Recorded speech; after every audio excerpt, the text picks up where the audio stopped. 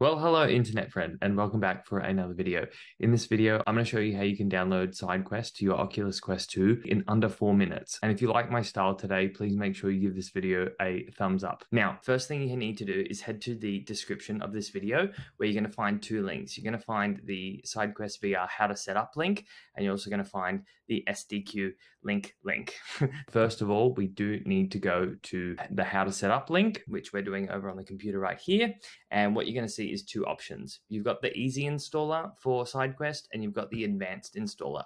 The advanced installer downloads the whole program to your computer. The easy installer is literally just as a side snippet for your MetaQuest device. This is the one that we're going to be doing in today's video. And as you can see here, there's a plethora of uh, options available. Today, I'm using a MacBook Pro, so we're going to do the Mac OS. Once it's downloaded, we're going to open it up and we're going to install it on our device immediately. Now, what we're going to do is we're going to go to our applications folder and what we're going to do is open up SideQuest. So uh, once we've downloaded SideQuest and we've got this window open right here, uh, what we want to do is we need to open up our phone and we need to turn our Oculus Quest 2 into developer mode. The way you do that is you go straight to your Oculus Quest app. Uh, then we're going to go straight to devices. You want to go straight to the headset settings and you want to go to developer mode. Once you're in developer mode, you simply just want to switch the developer mode on like this. Once you're in developer mode, you want to get your headset on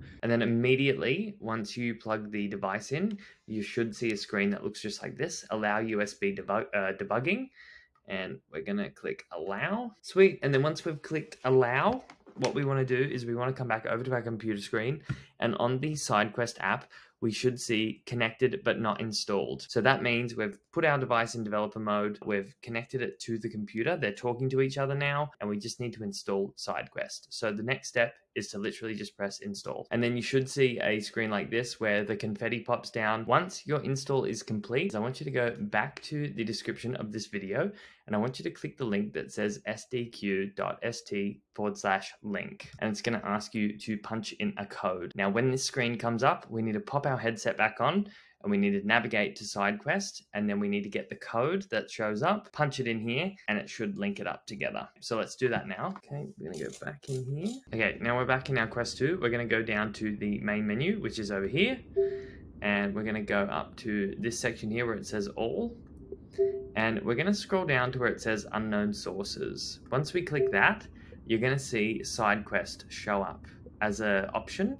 This wouldn't have been here before before you did the install and we're going to click it. Now when we've clicked it, as you can see, there is a code that we need to punch in. Seven, three, five, five, eight, one. Link now. Go have fun. You're connected. And there we go. As you can see in the screen here, we've got the ability to side load all of these different apps if we want. You may have also noticed that when I logged into SideQuest on the web browser, I was already logged in under my account. If you don't already have an account, it will prompt you to create one. Uh, it's free. You don't have to go through much of a process. You pretty much just put in your details, just like you would with a Facebook account. You create your SideQuest account, and then the download happens pretty much exactly like I just did it in this video today. So yeah, hopefully that shows you how to install SideQuest on your Oculus Quest 2. Feel free to drop all of your comments below and I'll do my best to answer them all as efficiently as I can. If you could make sure you give this video a big thumbs up for the algorithm and hit subscribe if you want more MetaQuest or Oculus Quest 2 content from me in future. I look forward to seeing you in the next video. Catch you later. Bye.